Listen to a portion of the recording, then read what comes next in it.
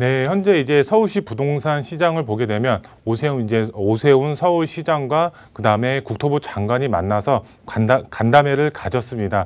간담회 내용을 이제 조금 이제 요약해서 이제 설명을 드리면 서울 도심 안에 주택 공급 공급량 자체가 상당히 부족하기 때문에 이런 재개발, 이런 재건축, 다양한 정비 사업을 통해서 이런 공급량 자체를 이제 획기적으로 늘릴 계획을 가지고 있습니다. 거기에 플러스해서 이제 정비 사업이 활성, 활성화가 됨에 따라서 투기 수요 자체가 굉장히 늘어날 수밖에 없는데요. 이런 투기 수요 자체를 방지하기 위해서 투기 방지 대책까지 함께 이제 거론이 됐다고 합니다. 이런 투기 방지 대책 내용 안을 보게 되면 오늘 강의 주제인데요. 바로 조합원 지위 양도 시점 자체를 이제 현재는 이제 이런 이제 뒤로 뒤로 가 있다고 보시면 될 것 같은데요. 하지만 앞으로는 이런 조합원 지위 양도 자체를 상당히 앞으로 정, 그 정비 사업이 이제 진행됨에 따라서 상당히 앞으로 앞당길 것으로 보여지고 있습니다. 그거에 따라서 이제 정비 사업에 투자를 계획하시는 분들, 이런 투자를 희망하시는 분들 같은 경우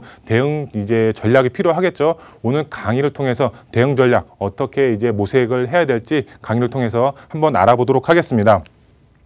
먼저 강의 순서 말씀을 드리면 첫 번째로 앞으로 이제 공급 자체가 상당히 부족하죠. 서울 도심 안에. 그래서 이제 다양한 이런 정비 사업을 통해서 이런 이제 공급 자체가 이루어질 것으로 보여지고 있는데요. 그 안에서도 이제 바로 재개발, 재개발이 활성화될 것으로 보여지고 있고요. 그거에 플러스해서 이제 투기 방지 대책, 투기 방지 대책도 함께 이제 나올 것으로 보여지고 있습니다. 투기 방지 대책 안에 바로 조합원 지위 양도 금지 시점이 변경이 될 것으로 보여지고 있습니다. 상당히 이제 앞으로 땡겨진다고 보시면 될 것 같은데요. 어떤 내용이 담겨 있는지 첫 번째로 알아보도록 하겠고요. 두 번째로 이런 이제 조합원 지위 양도 금지 자체가 앞으로 땡겨짐에 따라서 투자를 계획하시는 분들 정말 이제 대응 전략이 필요하겠죠. 그래서 이제 대응 전략 어떻게 세워야 될지 두 번째로 알아보도록 하겠고요.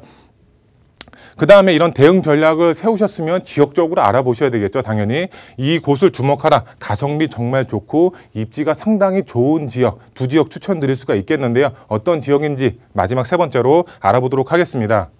먼저 첫 번째로 재개발 활성화 될 것 같고요. 그 다음에 투기 방지 대책도 함께 나온다고 합니다. 바로 조합원 지위 양도 금지 자체가 시점 자체가 변경이 될 것으로 보여지고 있는데요. 여기 이제 그 내용 자체를 보면 정비 사업 정비사업 조합원 지위 양도 제한 시기 변경 내용이라고 나와 있습니다. 우리가 이제 재건축과 재개발을 통해서 이제 다양한 이제 그 공급량 자체를 늘릴 수가 있겠죠. 근데 여기 행정 절차를 보시게 되면은 거의 이제 큰 틀로 봤을 때는 이 정비 사업 진행 이제 과정 자체가 상당히 비슷하다고 할 수가 있겠습니다. 상당히 비슷하다고 할 수가 있겠는데 속으로 들어가면 당연히 이제 그 내용 자체가 조금씩은 다 틀립니다. 하지만 큰 틀로 봤을 때는 상당히 비슷하기 때문에 이렇게 이제 그 표시됐다고 보시면 될 것 같고요.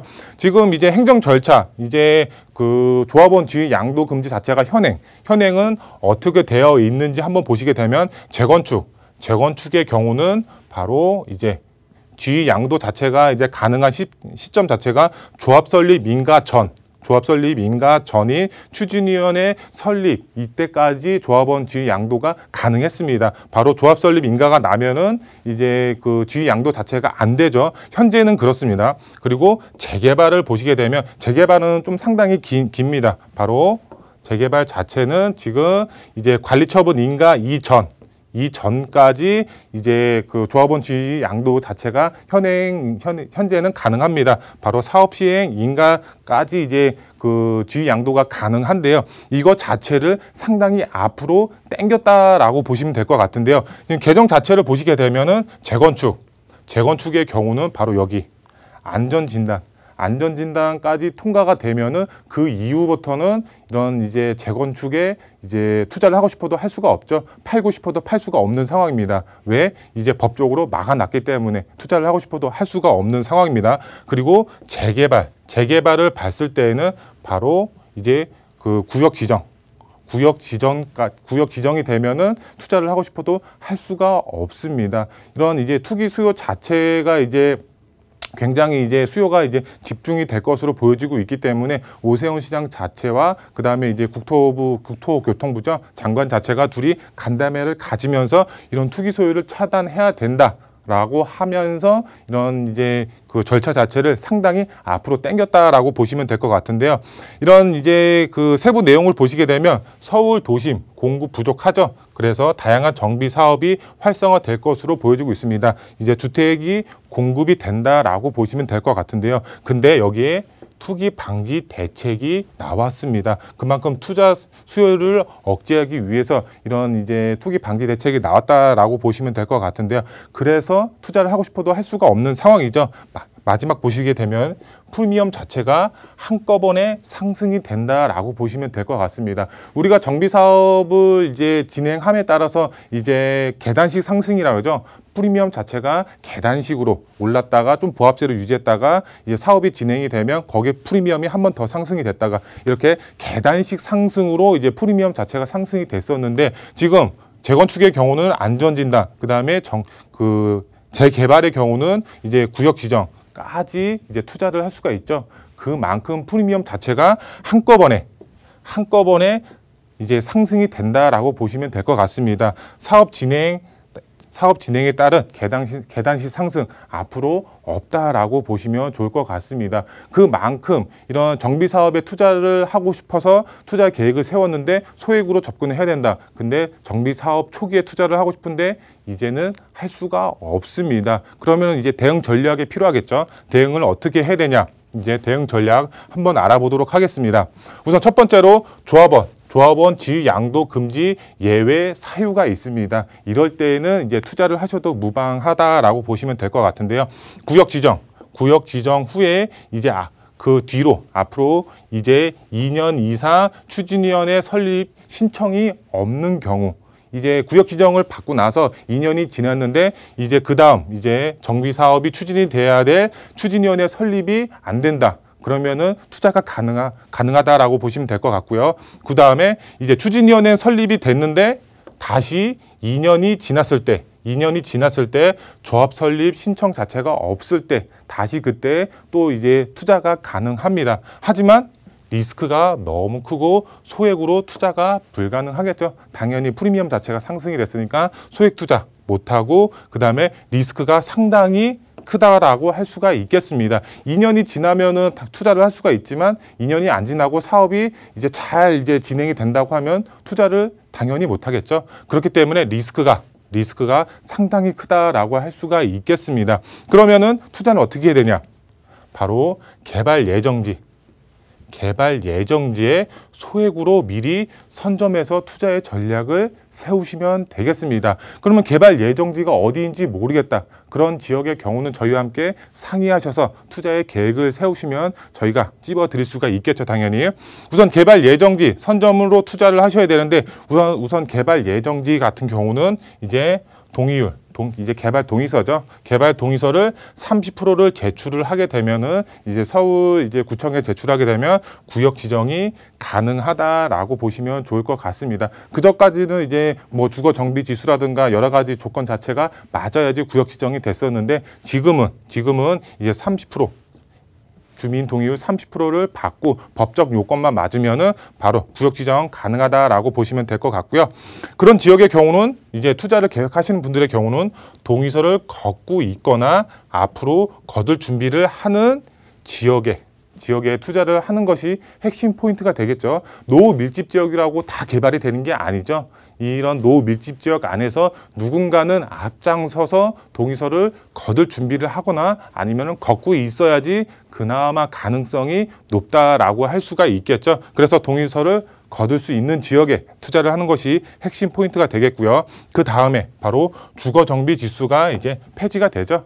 폐지가 이제 오세훈 시장 자체가 이런 이제 재개발 규제 완화를 이제 함으로써 주거 정비 지수제를 폐지를 할 것으로 보여지고 있습니다. 이 연면적 저, 자체, 이 연면적 때문에 이제 구역 진영 자체가 상당히 어려움을 겪었었다라고 보시면 될 것 같은데요. 이런 연면적 자체가 앞으로 폐지가 되면서 법적 요건만 맞으면 이제 구역 지정이 가능합니다. 바로 주거 정비 지수 폐지 한번 내용을 보시게 되면은 이제 노후도죠. 이제 노후 밀집 지역 안에 바로 66% 전체 면적의 66%는 노후가 되어 있고 나머지 이제 34%죠. 34%는 신축이어도 상관이 없다라고 보시면 될 것 같고요. 그 다음에 평수로 이제 전체 면적의 3천, 3천 평 이상 3,000평 이상이면은 구역 지정이 가능합니다. 그리고 이제 선택 사항 이제 하나가 있습니다. 선택 사항 한 개 이렇게 선택하셔서 이제 하시면 될 것 같고요. 그 다음에 노후도 그 다음에 3,000평 이상 선택 사항 한 가지만 충족이 되면 구역 지정이 앞으로 가능하다라고 보시면 될 것 같습니다.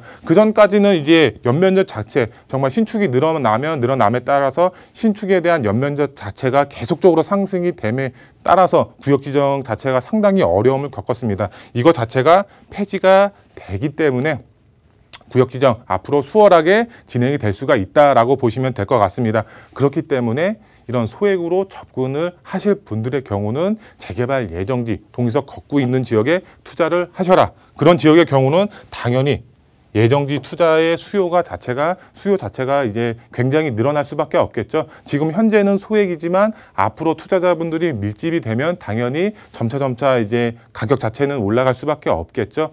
그렇기 때문에 투자의 계획을 세우시는 분들의 경우는 발 빠르게 움직이셔라. 그래야지 좋은 매물 소액으로 접근을 하실 수가 있겠죠. 그럼 지역적으로 한번 알아보도록 하겠습니다. 제가 두 지역 추천을 드릴 수가 있겠는데요. 첫 번째로 이제 연신내 역세권이 되겠습니다. 연신내 역세권을 왜 추천을 드리냐? 바로 GTX A 노선이 이제 현재 공사를 하고 있죠. 이제 3, 4년 후면은 이제 개통이 예정이 되어 있습니다. 지금도 지가가 이제 상승이 되고 있지만 앞으로 개통이 되면 당연히 이제 쭉 치고 올라갈 수가 있겠죠. 지가 자체 정말 폭등이 될 수 있는 최고의 교통 호재가 있는 지역이라고 보시면 될 것 같습니다. 이 연신내 역세권 안에서도 정말 이제 노 밀집 지역이 있습니다. 개발이 될 수가 있는 지역은 따로 있습니다. 민간 재개발 추진 지역이 있고 공공 재개발 추진 지역이 있습니다. 이런 두 지역 이제 비교하면서 저희와 함께 상의하셔서 투자 계획을 세우시면 정말 큰 수익 보실 수가 있겠죠. 그 다음에 바로 이제 광진구 자양동이라고 할 수가 있겠습니다. 자양동 보시게 되면 정말 최적의 입지 조건을 갖추고 있습니다. 왜 최적의 입지 조건이냐? 바로 한강변이죠. 한강변을 끼고 있습니다. 한강을 남향으로 바라볼 수가 있는 입지적인 장점을 가지고 있습니다. 최적의 입지 조건 갖추고 있고요. 그 다음에 강남, 바로 아래쪽이 강남입니다. 정말 이제 강남하고 초근접 거리에 위치를 하고 있습니다. 강남에 대한 이제 여러 가지 개발 호재들 많이 있죠. 이런 개발 호재의 영향을 바로 광진구 자양동이 받아보면서 그 영향에 의한 지가 상승도 정말 크게 가져가실 수가 있고 강남 지역, 그다음에 옆으로 성수 전략 정비 구역, 토지 거래 허가 구역으로 묶였습니다. 투자를 하고 싶어도 할 수가 없죠. 실거주 외에는 실거주로 접근하시는 분들 외에는 접근을 못 하시죠. 그렇기 때문에 반사 효과로 인한 광진구 자양동이 그만큼 투자의 수요가 집중이 될 수밖에 없습니다. 왜? 정말 개발이 될 수가 있는 한강변 마지막 남은 미개발 지역이기 때문에 그렇기 때문에 투자의 수요가 집중이 될 수밖에 없기 때문에 발빠르게 움직이셔야 된다. 연신내 역세권 동의서 걷고 있고요. 그 다음에 광진구 자양동도 이제 노밀집 지역 정말 동의서 걷고 있습니다. 이런 지역의 경우 저희 함께 상의하셔서 어디에 투자를 해야 될지 이제 상의하셔서 투자의 계획 세우시면 좋을 것 같고요. 이제 투자 포인트 세 가지로 정리해 드리겠습니다. 첫 번째로 서울 도시 공급 자체 상당히 부족하죠. 올해보다 내년이 더 부족하고 내년보다 내후년이 계속적으로 부족하다, 부족하다고 합니다. 그래서 이제 오세훈 서울시장 자체 그다음에 국토부 장관 둘이 간담회를 가져서 이렇게 이제 주택을 공급할 계획을 가지고 있죠. 재개발 앞으로 활성화될 수밖에 없습니다. 근데 거기에 이제 하나의 방지 대책, 투기 방지 대책까지 함께 나온다고 합니다. 그러면 투자 시기 놓치면 투자를 못 하시겠죠.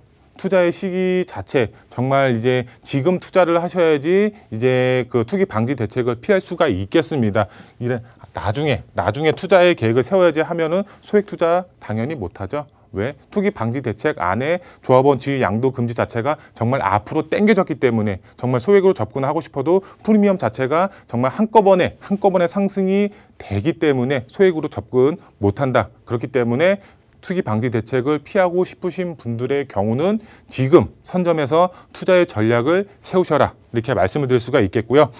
올해 이제 9월 이제 통과 목표를 가지고 있습니다. 이런 투기 방지 대책과 재개발 활성화 목표로 목표가 9월로 예정이 되어 있습니다. 그렇기 때문에 투자 자분들 투자 시기 얼마 없습니다. 빠르게 움직이셔서 투자의 전략 세우시면 좋으실 것 같고요. 그 다음에 마지막으로 2021년도 대박 투자 지역 선점할 지역은 정말 가성비 가성비 정말 좋은 지역은 연신내 역세권, 서울 서북부를 대표하는 이제 교통의 요충지로 변할 수가 있습니다. 지금은 소액으로 접근이 가능합니다. 하지만 나중에 소액으로 접근 가능한가?